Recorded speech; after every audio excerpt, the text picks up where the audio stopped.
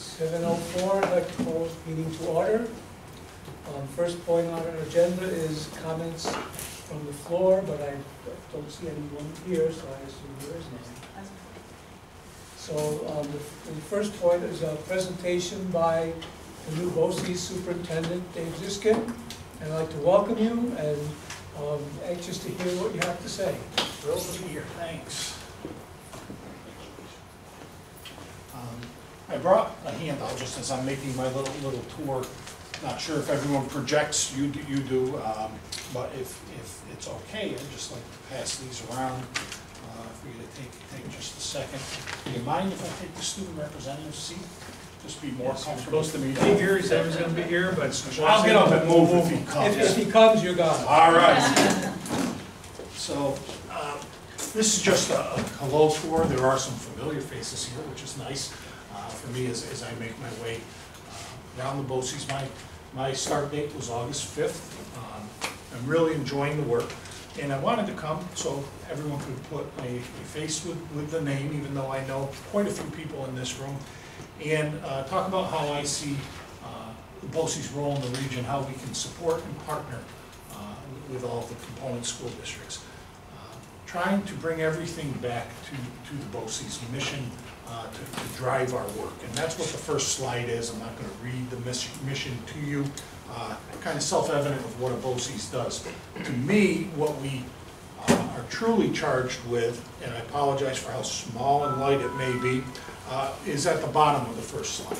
What, what we're endeavoring to do is, is to truly be a partner uh, with schools, uh, with community agencies and industry in the region to deliver the best kids we can when they, when they graduate, so they, they can go out there and, and, and have great lives. So, so that's, uh, what drew me to the position was, was really that, that mission. I think every educator should be in it to help kids prepare, uh, to help prepare kids for their lives after graduation. Uh, to me, uh, and I described it this way to our faculty on our, on our opening day and continue to deliver the message, we even have a more special, uh, charge. And it's because by partnering with, with the schools in the region, we're delivering the services that you've determined you can't deliver locally. So if we're not there, who's going to do this? So, so really, it's critically important for us to be there to support uh, the students and the district's most, most critical needs. So the second slide talks about being a partner. Just want to talk quickly with you uh, about two, those, those two bullets there. Uh, Nick is a member of, of, of a couple of our uh, superintendent advisory committees. That's, that's a new structure this year to kind of have not just communication at, at the building level, on the principal level and the director level, but also to better inform uh, the chiefs in, in the region of, of what is happening, but also have it be a two-way, uh, a two-way dialogue, so that when we, when it comes to the time where we're building the, the BOCES budget and, and program offerings, it's better informed by what our consumers uh, actually desire. Uh, We meet once a month as, as chiefs, uh, and as you can imagine, between all the, the state discussions that we have to have, uh, and, and all of the other issues going on, three or four hour meeting, you know, time gets eaten up pretty quickly. So what we arrived at was we would meet every other month uh, in these four committees, and, and our chiefs would report out. We've started this. Uh, Stacy was actually there the day after our first meeting with our instructional services committee of, of superintendents. Uh, She was there for, for a follow-up meeting to that, and, and that's kind of how we want to operate, to, to be, in order to be responsive, uh, we need to get feedback uh, and inform uh, representatives from the component schools. And the other piece, uh, the Mohawk Sac Valley School Boards Association, there will be two convenings of that group this year. One will be uh, on the night of the BOCES budget vote, to kill two birds with one stone. And the other, we're planning, we're planning for mid-November. And the idea is to provide relevant board development activities. So as time uh, starts, you know, we will be soliciting uh, through uh, Joanne Freeman, our, our president, uh, to representatives of your board, uh, some topics that may be relevant to you, but I think you're gonna hear a broken record this year. A lot of what we're gonna be talking about is this transition to the next generation learning standards, and how can we ensure that this happens more effectively than it did the last time around, which was, as, as I think pretty much uh, ineffective. Um, Disaster. Yep, you got it. Uh, Not gonna spend too much time with these next two slides, I think it's, it's just a review, uh, a reminder of, of what BOCES can do. Really, we provide services uh, and programs if uh, more than one local district determines that we, we can offer it more effectively or efficiently, uh, if, if we do collaborate to, to offer the services. So that's, uh, that term COSER, uh, and then the other services around management services, a good example is we've moved to this uh, homeschool COSER this year to kind of take that off of, as, a- as a former uh, component superintendent, I uh, would have loved to have had, had that at my disposal. And that, that was something that came from the chiefs as, as, as a service that they would desire. And the last slide just talks about something that, that I've already alluded to.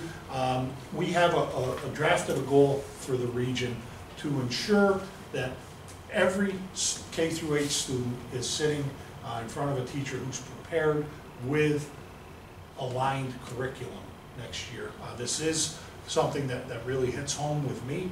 Um, I've got a sixteen-year-old who was in fourth grade the last time we made the transition, uh, and it was pretty rocky, you know, explaining to a, to, to a little guy how every year he had to go take these tests, and he would go in and take these tests, and instruction really uh, hadn't prepared him for that, wasn't closely aligned to it.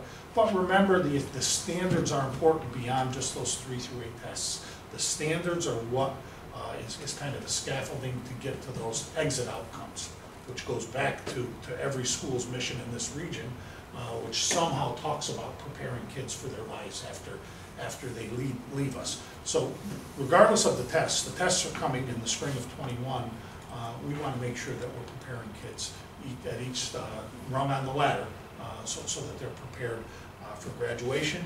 Um, Our plan is, is to work collaborative, collaboratively in the region. We're part of a statewide consortium uh, with, with a framework to uh, align curriculum to these, these new adjusted standards. Uh, And you, you'll probably be hearing a bit about it here and there in, in board reports from, from your administrators along the way, uh, because it's, it- we have a, a- a professional learning community of, of teacher leaders and administrators who we're training uh, to support the work in, in your districts. And there are also some, some districts have chosen to uh, collaborate with one another uh, on superintendent conference days and in other ways to bring that, that groups together for some synergy. But I don't want to take up too much of your time, I just wanted to say hello, tell you how I see the role of BOCES, and tell you I look forward to, to partnering with you and, and helping your school district. Thank you. Thanks. And welcome. Thank you. Appreciate it. Thanks. Appreciate it. Talk to you soon. Bye-bye.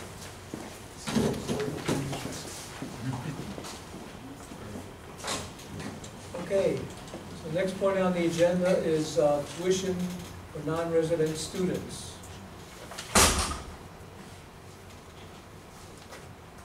So we had a, a meeting, a discussion about possibly instituting tuition for, uh, for next school year, um, and meeting about policy and what we, you know, might, uh, consider. And, uh, I guess the discussion here would be, if we wanted to pursue that, how much would that be? And, uh, I think it would, uh, behoove us to try to get this out as fast as we could, so parents next year would know what to expect if we did incorporate a tuition charge, so. Let anybody else piggyback off of. I think first we need to start with the policy. Yep. So, um, policy committee has worked with, um, Oh, wait, so we have to read, so we want to go into the 7131 first. Is that agreeable to everybody? Yes. All right, so why don't we do that then, so we'll go take those. So we've worked collaboratively, um, and this one spanned the two administrations, so it took us a little while to make sure we caught everything. Um, but we think what we've put in here is, uh, and we also got input from, uh, Stacy and Jen. They came and met with the policy committee early on as we were considering this. So there are some language changes in here, and they are highlighted in yellow. Um, The uh, main thing behind this, I guess, is that we wanted to make sure that we had, as a district, the ability to ensure that guests of our district were engaged in the academic process the way we expected. And if they weren't, we wanted to be able to address that. And that included parents. I think that's the way I would say it in overarching way. Um, So we added some language in here that states not only if someone does something that would cause them to be um, suspended, we had another sentence that said, in addition, multiple infractions that disrupt the educational process will jeopardize the student's continued enrollment in the district, so that that could be reassessed on an annual basis. Could- Could you give some background to that? Yeah, so when we met with um, Jen and Stacy, there were some situations where there were marginal infractions that were continuing to happen over and over and over, and taking teacher and administration bandwidth and really taking that away from other students. And our policy didn't allow us to address that.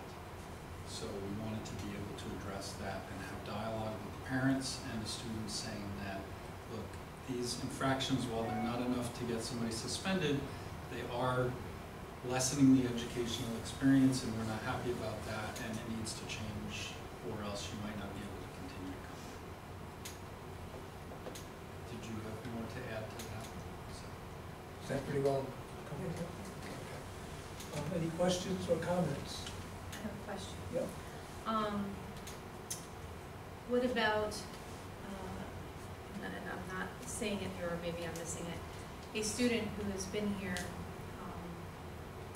from say fifth grade through tenth grade is entering their junior year, are they, they, and they haven't had to pay anything, and now suddenly their junior year, But they would have to pay, or That's would why they I be suggested we grandfathered in? talk about this policy first, because this policy has nothing to do with charge. Oh, okay, This Okay. policy is just the ability to attend, okay, an out-of-district person, um, so we're and our not, rules around attendance. okay, so we're not tying the tuition into that. They're separate policies. Um, and they're separate votes historically for, for the board.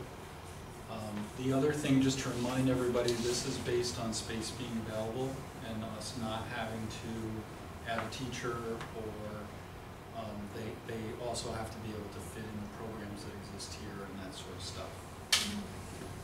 And one thing that we probably should talk about is, because as a part of our deliberation as a policy committee, we made several inquiries to our legal, um, uh, counsel, specifically around, um, a case that's gone on here in the area. And once a student comes into our district, um, we, and they might need certain services that cost the district more money, they are our student. And we can't refuse those services, and we can't turn that student away. However, it still is space limited, so if the next year there's not room for that student because our enrollment has changed or whatever, then it's, it's a whole new year over again to make sure that they fit. So my question to that would be, um, how do we determine if we have room? Um, what the policy outlines is it can't require us to, um, have any more expense structure. Um, so adding another section or, um, hiring another teacher No, that I or creating a new program. Um, so at one level, it's that. At lower levels, um, for example, we talked about kindergarten. I don't remember if that was the night you were there, but in one of our sessions as a policy committee, we talked about kindergarten. And there's only so many seats. So if the seats are full, there's no space. Okay, so my question We will not create another class. so my question then, in the policy, are we gonna have set numbers? Because that's, that's, you know, if we, I'm sorry, we don't have any room, well, how do you know that? Well, we have, you know, 25, 25, 25, and twenty-five, and we're not, we have decided we're not gonna go to twenty-six. Well, what are you gonna do when you have somebody who moves into the district? And I just, so that's my question, is, is that gray area there, well, how come you don't have room for Johnny, you know? So, That's the discretion of the, of the administration and, and, okay, and looking at, for example, you- you made a perfect case, I think, Stacy, uh, AIS, right? Where we had certain amount of students, and not necessarily in the, in the class, but now we have enough spots in AIS, so if we added more students, we would have to add another section of AIS, mm-hmm. which would, be- would add cost to the district. Mm-hmm. In addition to that, we always, I think, are strategic of leaving a couple spots open, because here's what we don't want to happen. Come January, two new kids come in, and we're telling Johnny that you can't come here anymore for the rest of the year because we're full, we got to add another section.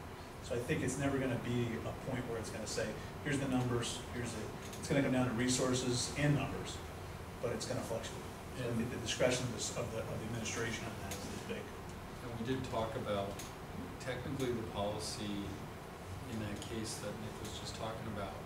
If we have a student moving into the district in October and that puts us over the limit, so far we've accommodated, we've been able to accommodate everybody staying in the district for the whole year. But the policy doesn't say we have to. I think we're trying to head that off as much as we can. Correct. Yeah. Correct on that? I think we try to keep a couple, because we, we never know. You know, we hate to turn a child away in December, January, third of the year. Even though that's not our responsibility, but we, The, the other thing too, that's on, that uh, vein that we tried to address is we did put a deadline in place, which had never been. So people, families have to notify us by July first, so that we can plan that headcount appropriately. Any other questions or discussion? Do I, I- I should have started this one, do I have a motion to approve the amended, um, policy seventy-one thirty-one? I'll make the motion. I'll second it. Okay, any further discussion?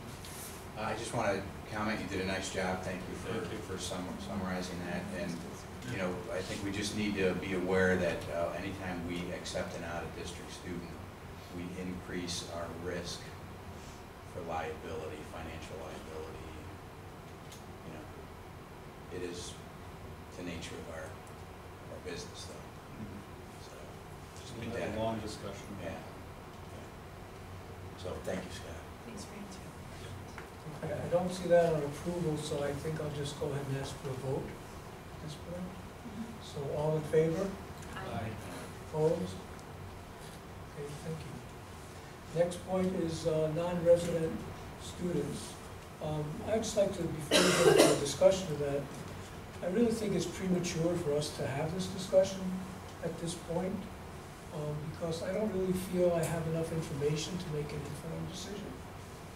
Um, I'd like to know what some of the thoughts are about what the and uh, we've had some discussion about this in the past, but I, I really would like to have more concrete figures and numbers to know whether or not this is something that we really do need to consider, what would be the rationale for it. Yeah, tuition, and, you know, and whether or not it's something that we really need to do, because we haven't charged tuition since we started the, you know, welcoming, um, non-resident students.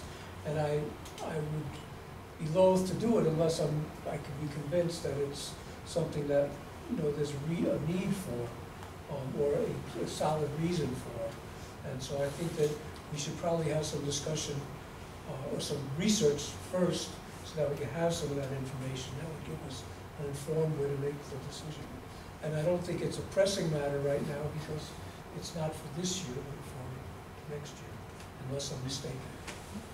The only, the only thing, um, first, we, we do have some data, and from our discussions with our legal counsel, there are some things that I think we, as a policy committee and administration, got informed on. Um, and then second, you're right, um, it wouldn't go into effect until next year. But we also had a long discussion about enabling people to plan. So we don't wanna like drop that on people that are coming to the district as an out-of-district, which is why we wanna make sure we have that discussion earlier rather than later. I'm not disagreeing with anything you said, No, I we mean, I- don't I- wanna wait till next I, July. I just think, I just think it would be good for the board to have that information prior to our discussion about it, just so that we can then discuss the, the basis for a yes or no at what level. Sure, So we could maybe decide to table that until uh, the October meeting?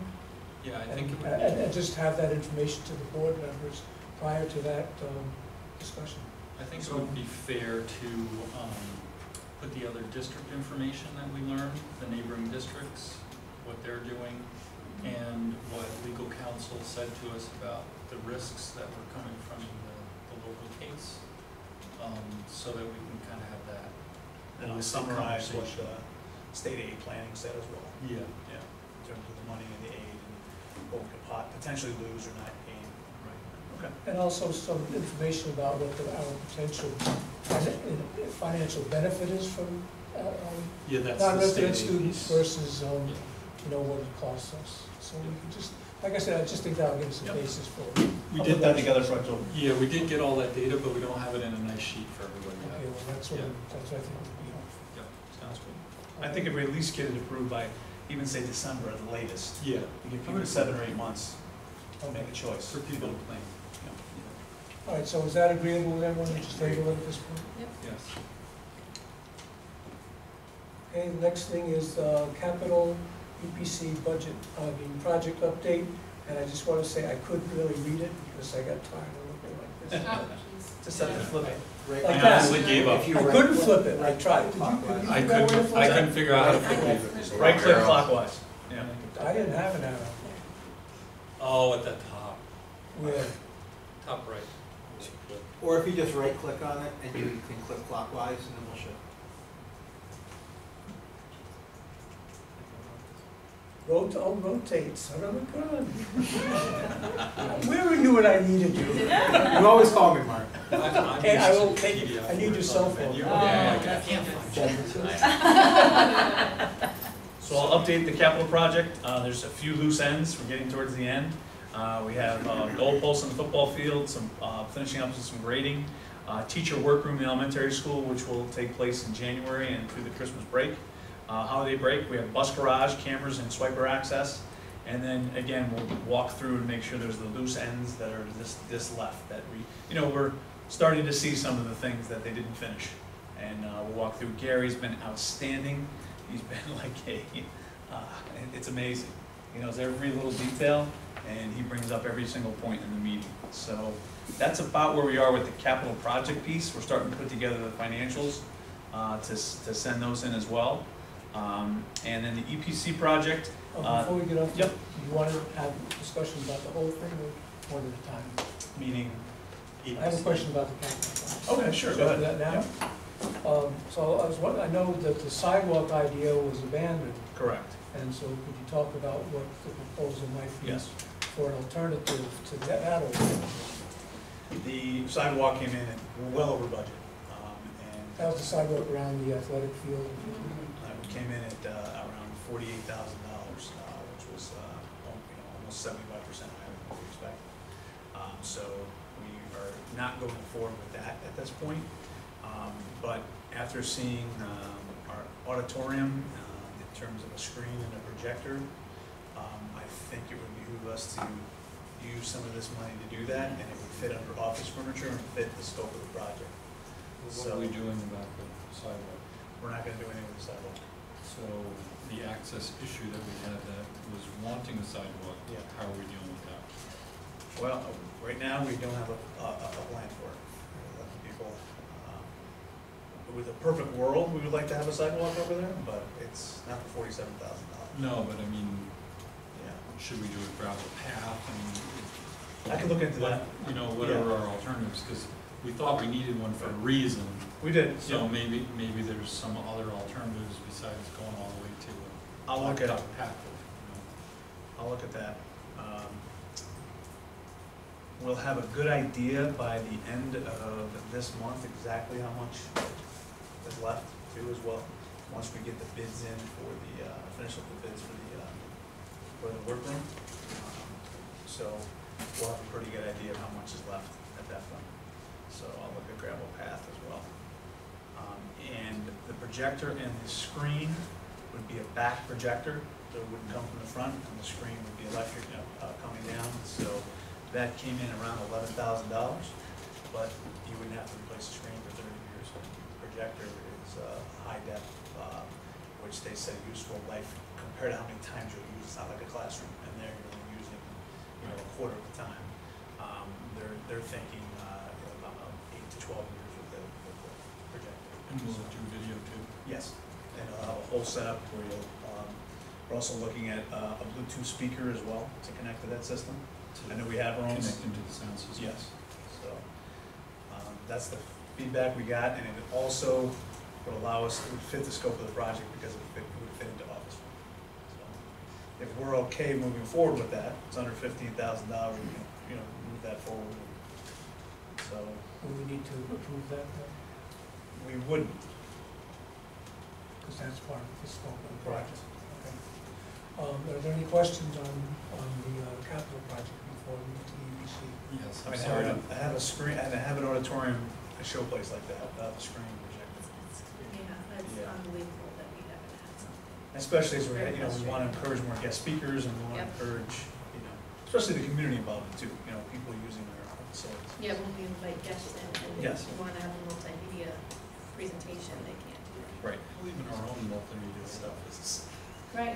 It's, it's discouraging. Exactly. I mean, our musical stuff where we do slideshows on the side and it's like, You a- can't see it, we have this beautiful auditorium and we have no way to do AV. yeah. Right. If I can interject, we literally use that projector. Yeah. We take the board Right. projector and No, put it on a I- table down below. Right. And Nick, That's what I Nick mean. Anchor has been kind enough to bring in his own personal screen and chain it to one of the drops, so we have something to use Right. for a beautiful facility. Our audio and video are antiquated. Exactly. Or non-existent. Thank you, Nick, wherever you are. Yeah. So I, I have a, um, capital question. Yep. To follow up on the question that we asked at the last report about AC. Yep. Do we have some responses back? yet? Yes, Gary is, uh, I think he just got prices in for the air conditioners and they should be being put in upstairs if we thought. So Thank you. I'll get a follow-up on that, to get exact dates. Great. So, Thanks. Um, Okay, anything else on the capital project? Take it away, EPC. EPC has uh, started, um, if you look at um, small pieces right now this month. So let me just go, through- uh, actually, excuse me, next week, my fault. Um, They're doing, let me get back to my notes. They are starting next week with uh, cooler and freezer and pipes and valves, um, and making sure that's all taken care of because it's less invasive in terms of, uh, they don't have to be around students, they can do it during first shift, that type of stuff. So they're gonna get that done, and they're gonna start the interior lighting of the high school soon after that. And then they'll work their way down to middle school, um, elementary school. So through the year, uh, we should have just about everything done by around April, except for some summer stuff, which is the pool, and uh, another uh, item in the summer as well to. So they will move through in second shift. Um, They'll let Gary know when they're coming in, and um, it's pretty amazing what's gonna end up happening uh, in terms of uh, our ability to, the lighting uh, automatically turning off, the dimmers, different types of lighting we're gonna put in. They're actually going as far as putting in uh, different colored lights for our front of our building, so we can shine different, uh, it comes with their package. Are they doing the parking lot lights? Yes, Great. and they're gonna keep that. We won't have to walk out in the dark? They're gonna keep it at thirty percent all the time at night, so Nice. there'll always be a haze or whatever. And obviously, Gary knows when there's an event going on, he'll, he'll have all the lights on. Thirty percent is better. Yes, when they explain the new lighting system, thirty percent will be great, they'll do. So that'll always be on.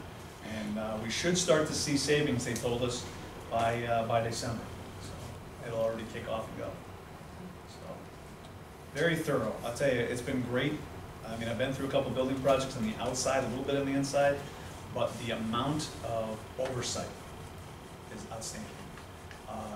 Amount of people in a room working together, collaborating, checks and balances, going over everything, has been pretty amazing. And the same thing with the EPC. We'll be starting to meet every two weeks to make sure that we're on date. And again, Gary is outstanding.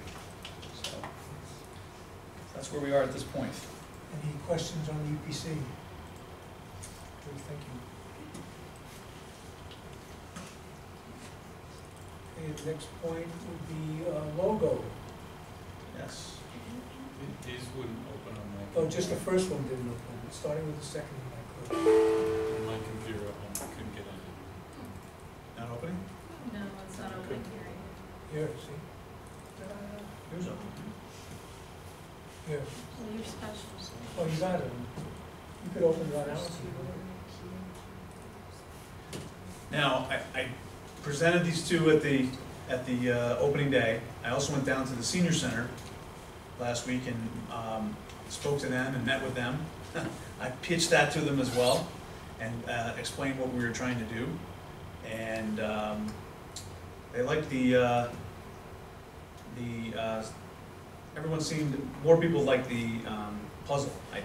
You know, pass this around, So- you all can look at it. Is there more than one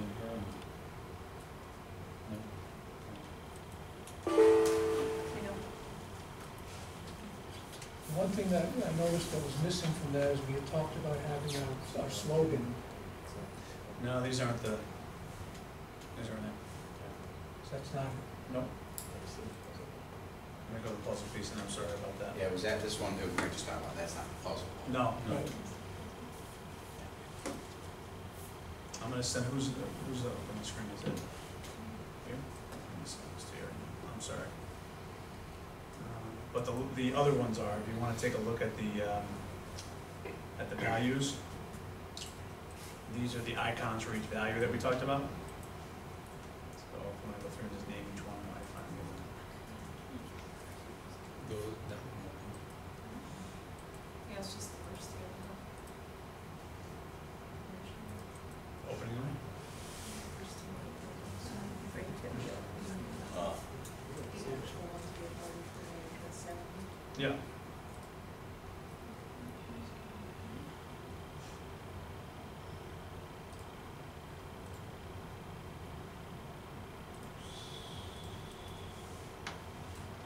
so you're trying to bring it up at this point. Yes, I'm gonna send it over to her.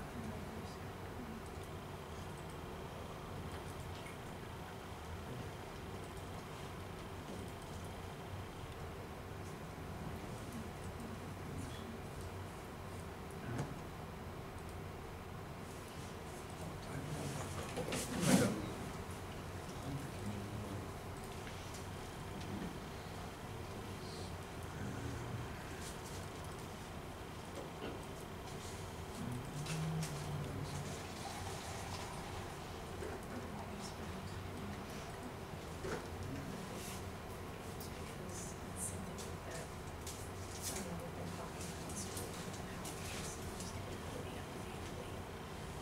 Does it usually?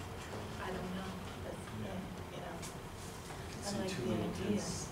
yeah, I like the idea of that. Oh, we need, yeah, we need one for.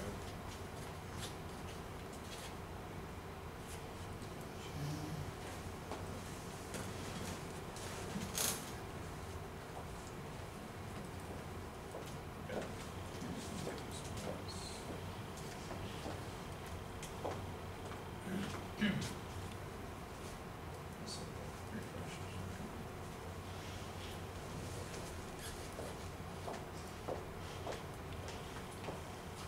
While we're waiting for this to um, appear, does anyone have any comments on the, the other ones that were able to be opened? What are, we- what are we, what is the plan for these, One for each one. one for each value? Yeah, so you have your individual ones, we wanna have, Scott made a good point of making each icon for the value, so people have, a- when they see the picture, they start to get used to what the value is. Well, I, I have two questions on, on the These are the accountability. two up there. Oh, it's up there now. Yeah, sorry.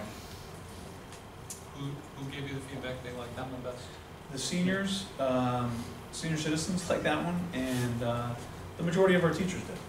It was, it was, a- I think the representation, well, here's a way to look at it, and I I always say it this way. If you look at the Dallas Cowboy star and you change it, everybody would go, what are you doing? I keep telling him not to use the Dallas Cowboys, but he keeps insisting. If you came out with a new team and it was a new logo, people would say, wow, that's great. Remember, we never have a logo in terms of what we're doing, so whatever we put out there is gonna be fresh and new. And the reason I did like this one is because it fits the, the concept of what we're looking for. Meaning all the pieces have to come together. And that's what I've been kind of reinforcing since I've started as well. We need the mission, values, and, and vision, but if the goals aren't there too, to create the district, which is the big C, all the pieces don't fit together. So I think something like this would look great on our website, on our letterhead, and we have to start ordering new letterhead, and this would be a great opportunity to start doing this as well. The question I have, I guess, is do you really need the vision puzzle piece with the vision over the top? The vision. On the bottom, you mean? Yeah. Do you need the vision? Yeah, do you need that puzzle piece when you've got the vision stated overarching the whole thing? Good point to look at. That's the only thing that I, I'm thinking about with it. And again, I, I think anything would be great, and fresh. Yes. So whatever we decide, it'll be something somebody will say, wow, that's our new logo. It will be more compact. Yeah. Yeah, I don't like, yeah, that's a good idea, actually. And maybe we actually put vision and then the word vision in front of every learner, just so people know that it's. So we could do that, yeah. You know what I mean? Yeah, So the vision colon, Yep. every learner, and have that overarching the whole thing. That makes sense? What do you think of? Or you could put our vision, because that's so nice to idea. put our vision in between the semicircle and the C. The every learner together vote re- ready, You know, Okay, so that- in between that and the C? yeah, our vision. Okay. So our vision colon, right? Because I see what you're trying, you're trying to like make it so it's not this piece sticking Yep. out. Right. Right, And, and it for our visual. vision stated Right, there, and right? so, So this is what we're working So toward. if it's, it's, it's for visually, do you see what I'm saying? Mhm. And that's why I'm thinking, okay, if, if you're trying to make it more compact, if you put our vision right underneath our vision, and then there's the C and then mission, goals, values, that might accomplish what you're trying to do. I agree. I'll get that one made up, send it out, sound good? I like that, it's a good idea. That kind of shores it up, doesn't it, that extra piece on the bottom. What do you think of the logos for each individual?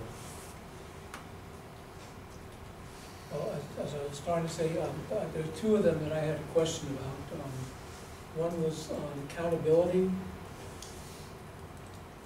I couldn't figure out what that thing was up on top there. The clipboard, it's a Check mark on clipboard. clipboard. Oh, that's a clipboard. When you see the whole thing. Okay, if you don't see it, it's fine with me. Okay, the other one that I had a question about was the engagement one. I wasn't quite sure Yeah, that one what, didn't, what that was it didn't get me.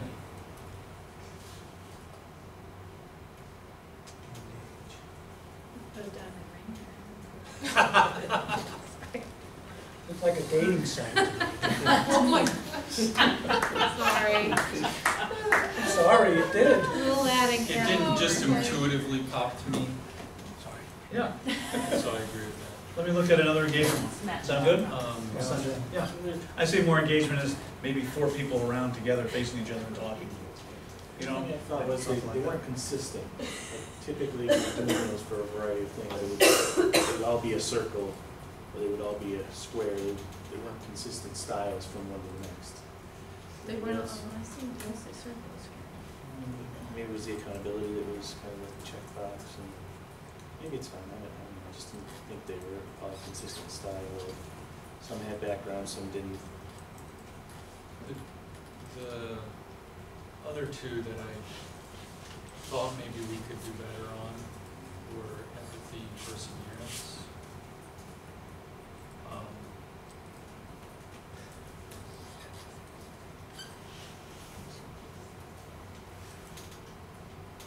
I don't know, as a handshake makes me think of empathy. Sure. Let me take a, a look at a couple, making a deal. Yeah, Yeah. let me take a look at those three. Sound good? yeah. Yeah. And then when I do my, the weekly update next week, I'll send them out.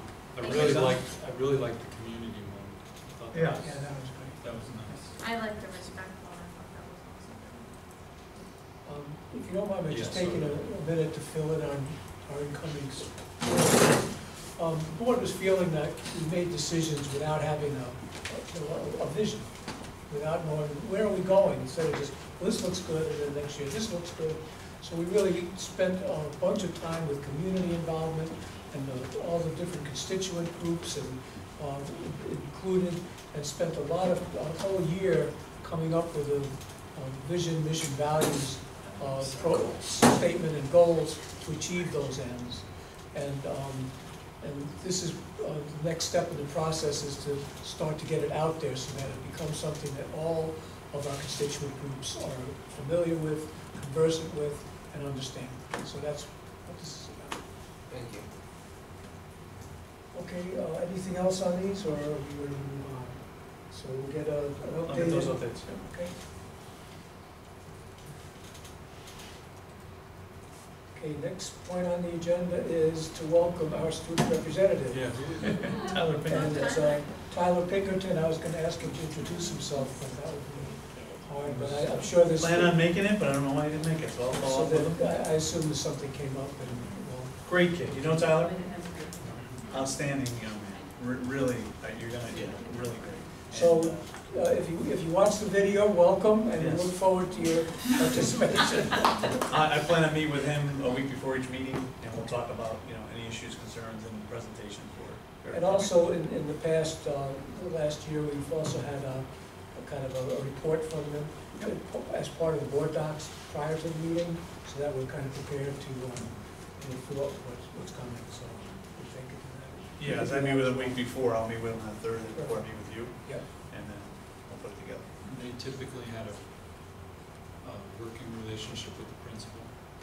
Okay. It was high school Yeah. based. Yeah, you really enjoy, he's, yeah, he's- he's sharp. Okay, so now we have, uh, opening day report. Um, I think the opening, uh, our superintendent conference day went very well. Um, I think we got a lot accomplished. Uh, we were able to kind of set a tone, I think.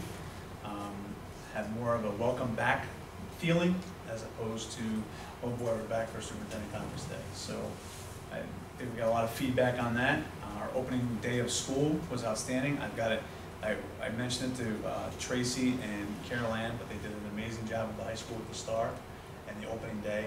Kids are really involved, they're excited about it, um, and there was a lot of chatter about it. And it was kind of nice to go walk around and see how kids were engaged, but also see some of the kids who weren't, and have an opportunity to go and talk with them and get them engaged.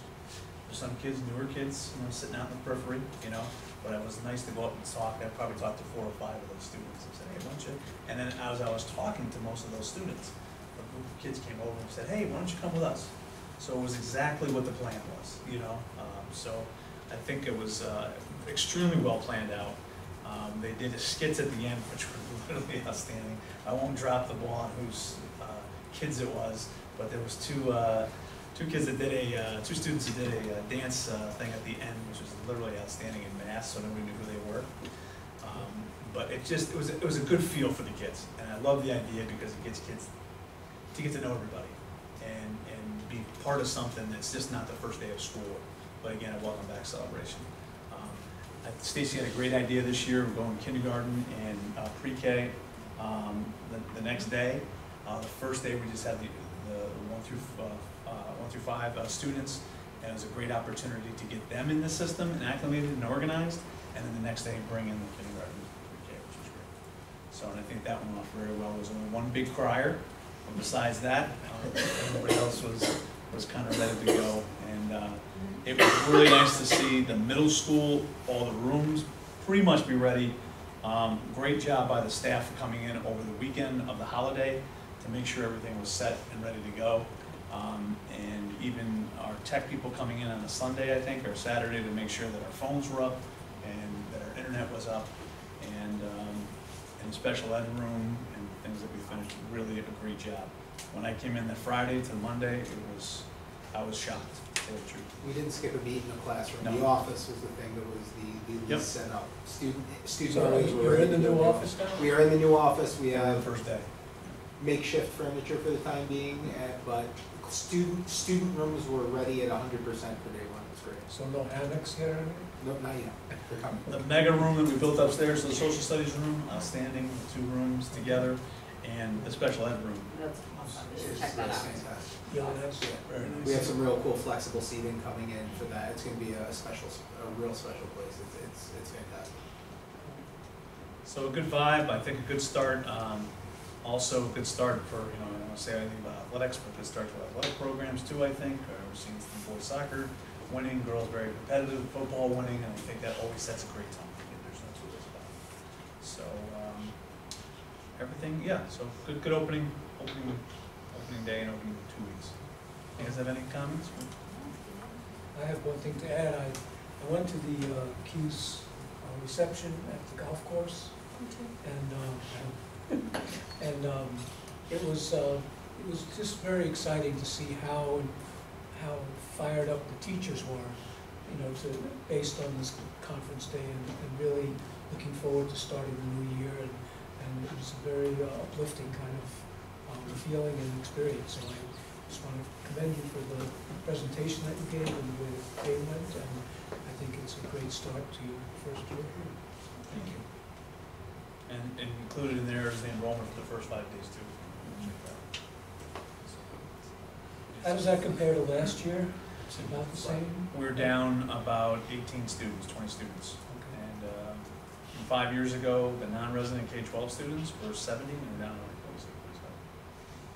But overall, the enrollment is down about fifty or sixty from about five or six years ago. Um, but I'd say the numbers were really great were the pre-K numbers.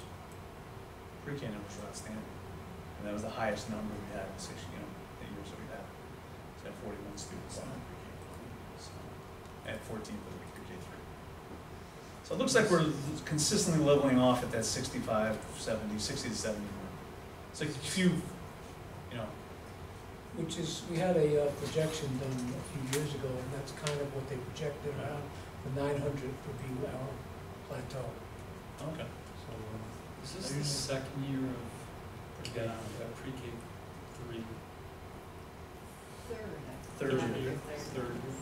This is the third year. Yeah. What did we expect that population to be?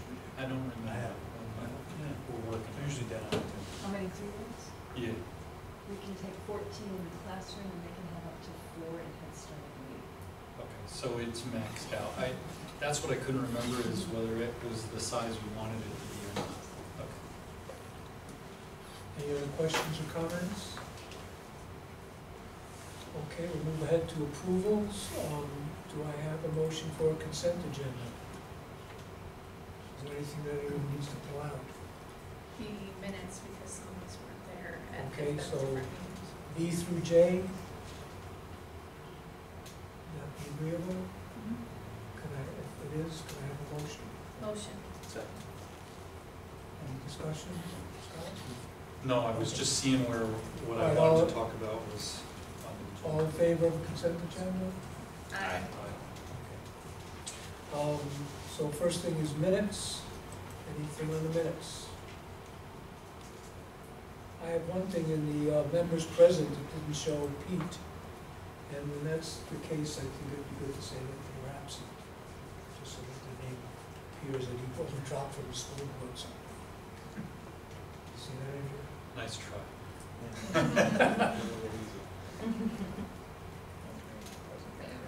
Members present, and you should just indicate if someone's absent, okay?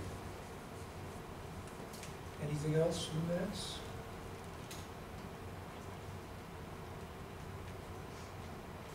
You got we the, you got the same thing for the 29th. Yeah, same thing for the 29th. Same thing for the 29th.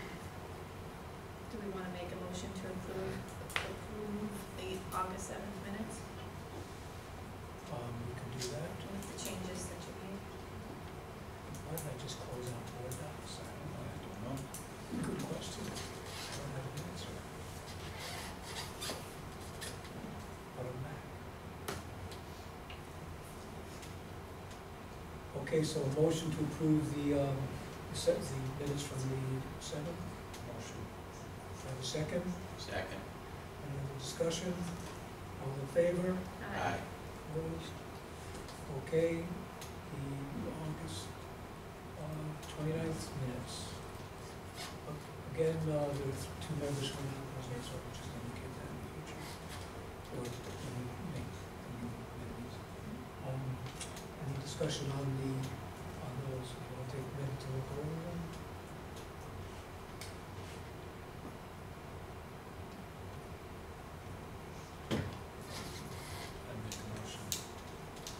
second? All in favor? Opposed? Abstain. Since the Jen and uh, Chris abstained. okey doke, moving right along, we have bills, any question on there? Uh, I have two, one is fifty-seven, three seventy-six, House of Good Shepherd, four and a half thousand dollars, It's a special replacement. Okay. And also JB Supply, fifty-seven, four eighty-two. Just, just eleven thousand dollars is what it cost. Yeah, that's, um, all the, that's the company that carry orders all the supplies from, so it's all the cleaning supplies. So we need I just, just did ring a bell for me, thank you. Any other questions?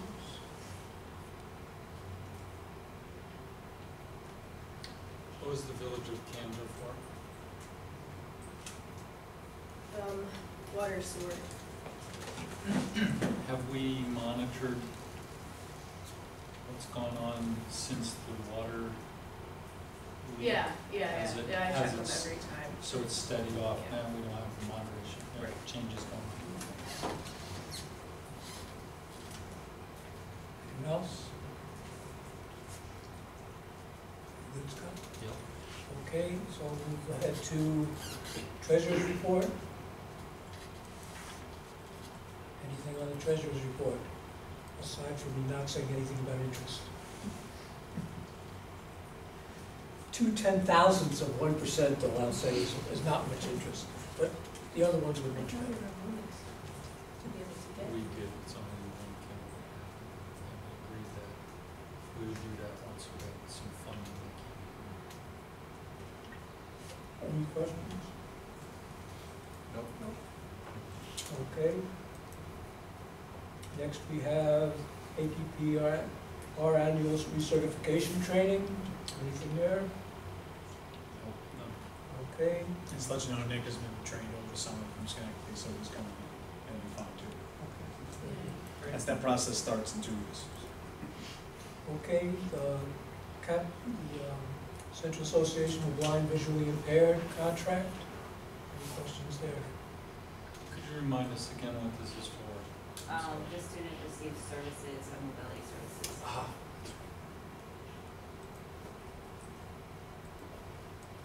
Any questions? Transportation contract. I was surprised, it seemed too cheap. Fifty-eight cents per mile, we'll figure it out. No, no, no, I meant the total anticipated cost of eighty-four ninety-one, because it says it's for September to June. What is it, like one day a week? No, but you only get paid for the amount of time the vehicle, the child's in the vehicle. This is a parent transporting a child. That's about right. Oh. Yeah, This is the one the parent agreed to take? I, Yeah. okay, I thought I saw brown on this, I'm like, Oh, how no. can it possibly Then be that yes, cheap? you are absolutely correct about that. Then no. Okay, Ms. Brisson? Yes. Are we done? That's- They're going to live there. Substitute pay rate. Uh, Nick, did you want to just talk about that a little bit? Yes, it's, uh, behooves of the, of the, uh, the union has to seek out any area, district that is paying above what our rate is, or at least the same, so our contract says we have to go five dollars more than the other areas.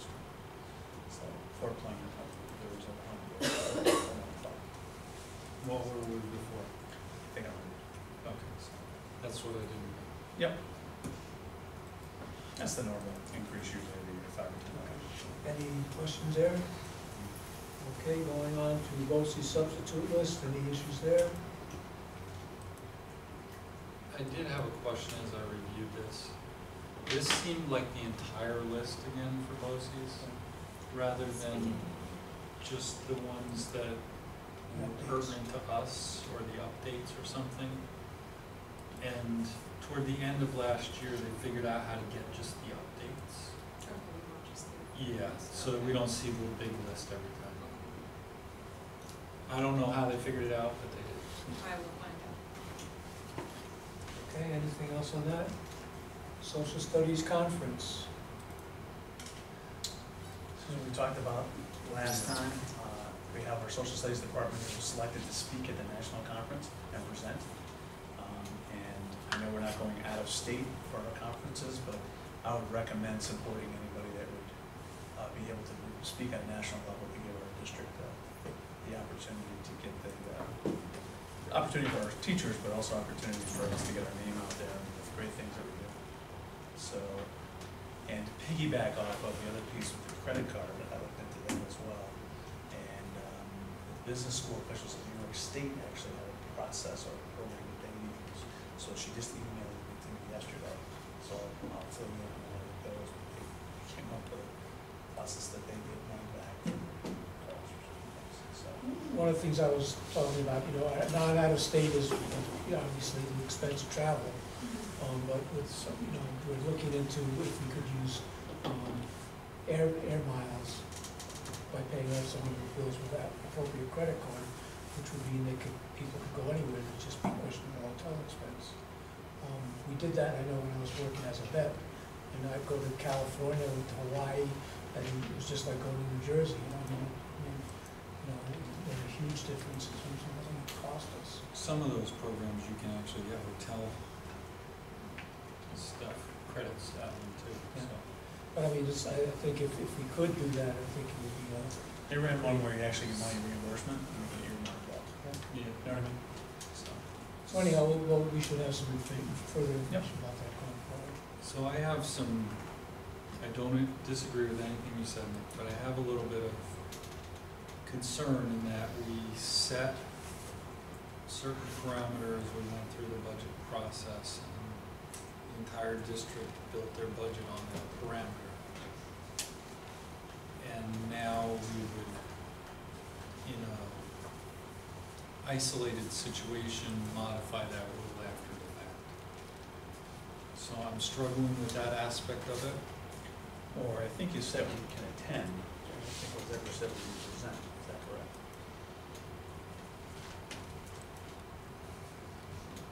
I think we just said there was no out-of-state T and D. Okay. I'm pretty sure that's the way we presented it. So I don't disagree with what you've said, I'm, I'm just concerned that, what about other people that would have, but didn't because we told them that was the rule? Do you know what I'm saying? Agreed?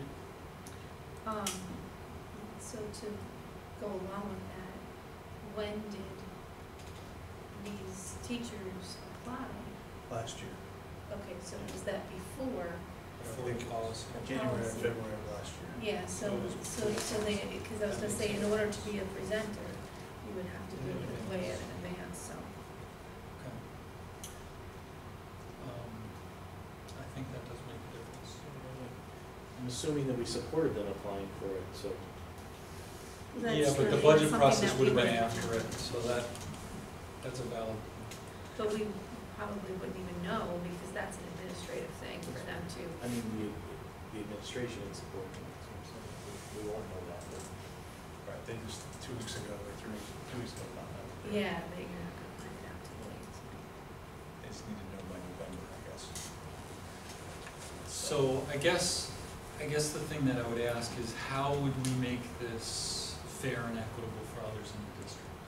That's, that's what I'm really asking for you to solve. Well, I, yeah, I think policy that we go forward and say nobody, you know, out of state, we can keep it that way, but, but because they approved what they, they put in for last year, it's kind of out of their control, and we will support that.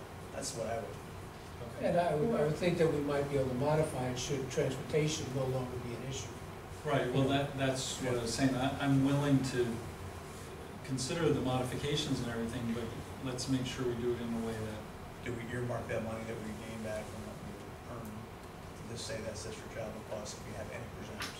I, I would probably keep it presenter personally. I was Okay. gonna say. Because I think we're starting to get out of, stipulate- con- yeah. Was Because there's gonna not gonna be a, probably a lot of people, uh, you, you know, it's very t- difficult. It's to- difficult, To yeah. get cho- chosen to, to Yep. present on a national level, so, I was gonna say stipulated to, if, if they go out of state, it's because they present. correct. So let me work on something and I'll draft it up. Does that sound good? And then we can Well, take I- a look at it? I, I just, I just would think that if, if travel were no longer an issue, um, sometimes there are unique, um, professional development opportunities that would be out of state that I would want our staff to go to. So I wouldn't really wanna rule that out altogether as long as it was not a financially, you know, onerous thing for the district. So I, I'm not prepared to go that route yet because I, I hate to rob our teachers of the opportunity to benefit from something like that should be available. It's not everything's available in New York, Pennsylvania, and Massachusetts. Where do you cut it off? Well, So for example, if you're three months into it, and these three conferences came up first, and then six months later, these three conferences came up, and we were out of the funds that we earmarked for that. well, I think we could, we could stipulate that as long as it would not be a financial burden to the district for people to attend these things, and we can cover it, you know, with the reimbursements, then I think I'd be good with it. If it became an added expense for the district, especially given our, our, our financial straits at this point, then I would be opposed to it. Does that make sense? philosophically, I agree, Mark. Uh, I'm just thinking how you would administer that, and I think that's really setting Nick up for a bit of a nightmare in terms of the calendarization of that and requests, and whether there's money available yet or, or not, or whether it's all been used, and then some people you're saying yes to, and some people you're saying no to.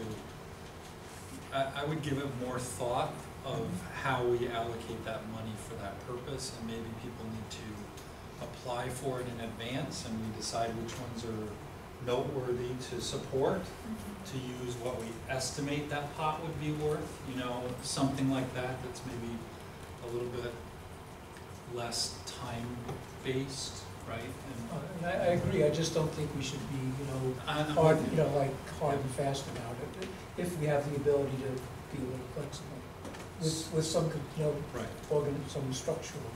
So I would make a suggestion to the board. In, in this particular case, it was applied for last year. We had different budget rules. We got accepted.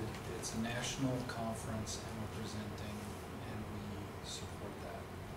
And we stay, we keep in place our current budget restrictions until we have an alternative funding mechanism in place. And then we develop a process to go with that funding mechanism. That would be my recommendation. I could send that out, I could email and make sure that that's clear, you know what I mean? The reason why they were. Okay. And then I'll come up, I'll draft something up and we can talk about it, once I get the other piece. Sure. Okay, anything else on, on this? And then the uh, last piece is the iTutor. Nick, Yes.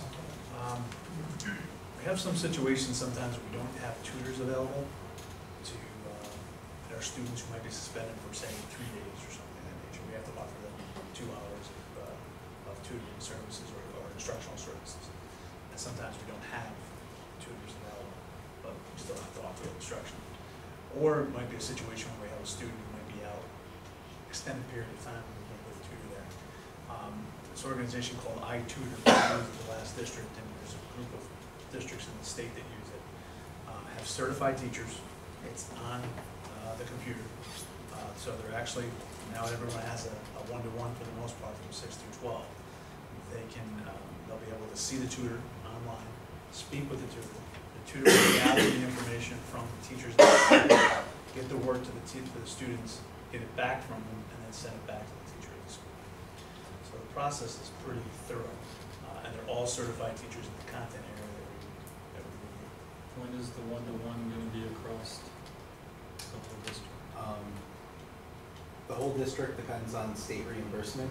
Um, hopefully Monday, we will be one-to-one in ninth and tenth grade and fourth and fifth grade, as well as grade level carts in each other grade level.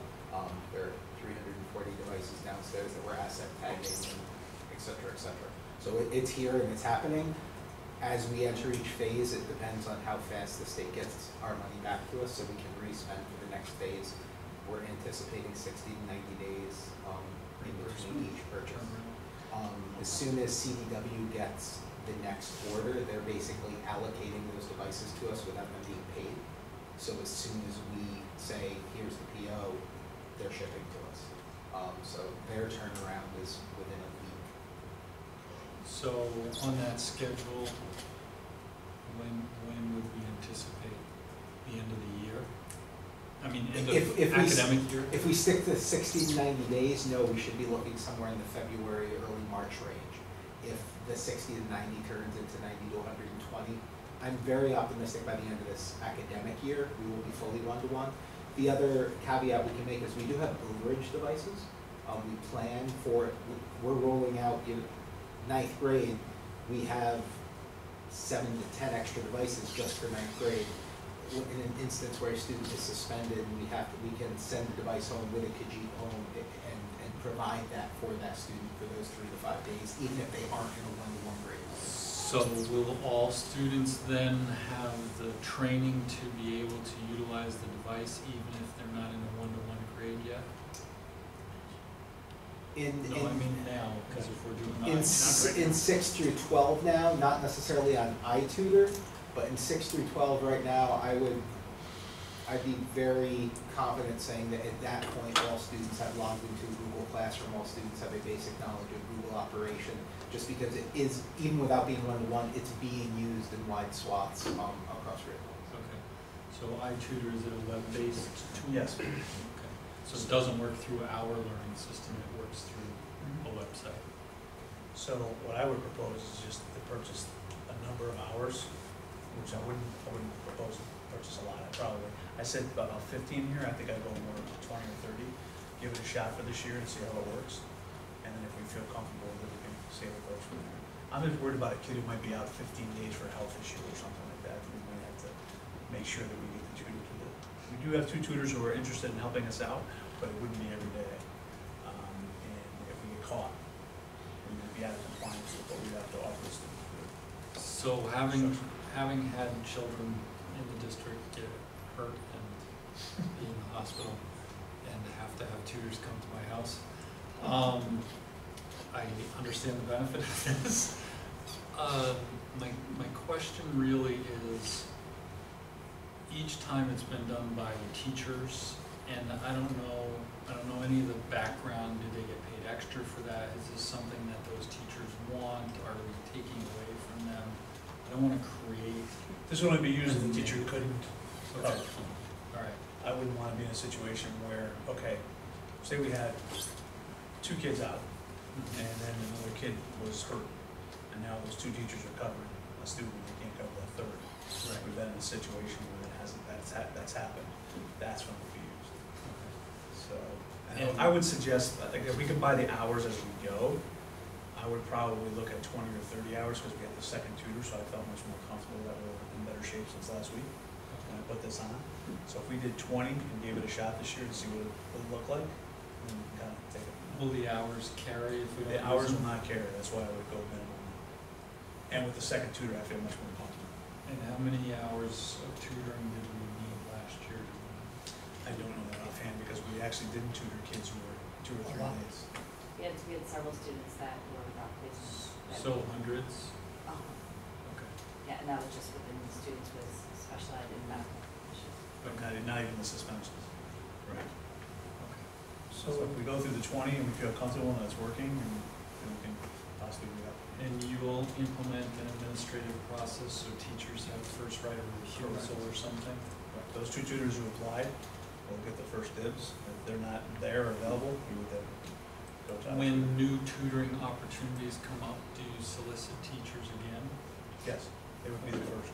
No, I mean beyond the two, let's say we have two that are in need, so you've got those two assigned and now there's another three students, do you re-solicit our teachers or no? Um, what I can Well, it's a timing thing, but I'll, I'll send something out to all the teachers and see who, who's available. Okay. That make sense? Yeah, because I'm pretty Yeah, sure. I don't wanna make sure we don't take away from I'm pretty sure that one teacher was actually asked at the time my child got hurt, and they decided then to do it. It wasn't like they were on, on the bench, so to speak, you know? I know there's situations where we haven't covered, it's suspensions, we just don't get ourselves in. No, I, I'm in total agreement, I just wanna make sure we have an ongoing process that they can raise their hand, you know, because sometimes that makes a difference, oh, Johnny got hurt, you know, and, yeah, I'm, I'm willing to help out, absolutely, you know? Sounds good? Okay, one thing in the, uh, in the approval, it does those fifty hours. I would go with twenty if you don't mind me changing it, I just got it two. Okay, well, agree, go with twenty then? Yeah. Yes. Twenty agreed. So you got that? How does that cost compare to our cost today for using teachers? Teachers, I think, is twenty-five plus, right, but you're also still filling the FICA and Yes. everything else, so it's about twenty dollars more. What is, the teachers I- more or the No, teachers? I too. But again, only use if you don't have the teacher. I just don't wanna be, get ourselves in a situation where. I understand. Okay, we good on that then? Mm-hmm. We would go through a COSER with the local BOCES, not our BOCES, 55 or whatever, 50, same as 5 bucks. Okay, so uh, all in favor of the consent agenda? Aye. Opposed? Abstained? Thank you. Um, now, uh, appointments. Um, there are four other than the uh, sports appointments. Or three, I'm sorry. Um, three, Cynthia Miller, three-hour monitor, Michelle Eggleston, art department chairperson, and Patricia Prime, National Honor Society advisor. And then there's the master list of coaches. First of all, do I have a, uh, we do consent agenda on those Yes, as well? please. Do I have a motion? Um, I would, can we just do the three first? Yes, please. Okay, Do, do the three before we get to the coaches? okay, so do I have a motion for the, for the three? Motion. Second. Any discussion on any of those? All in favor? Aye. Aye. Opposed? Okay, now we get to the coaches master list. So, um, Do we want to We've do? I appointed fall, so we're just looking at winter and spring. We've already done fall, Fall. correct? Yes. I would make a motion that we move to executive session. I'll second that. Okay, so you'd like to do these in executive session? Yes, please. Okay. No discussion, we can't vote on them. Right. Up for discussion. Okay, so we will have a discussion of these in executive session.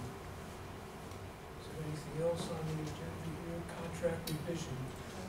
This is a revision to Andrea's contract regarding, it never said the, uh, the uh, number of weeks vacation after, after the third year. So I saw that that was what was highlighted. Some other comments on this and, um, Okay. yeah, should I- does that need to be done in executive session too, I think? What's that? Because it's individual personnel, Individual, commenting on an individual's oh, contract. yes. So, um, So we'll put this in executive session. Okay. Um, Sorry. So then, um, do I have a mo, any old business or new business? Do I have a motion to recess into executive session? Motion. Second. All in favor? Aye. Okay.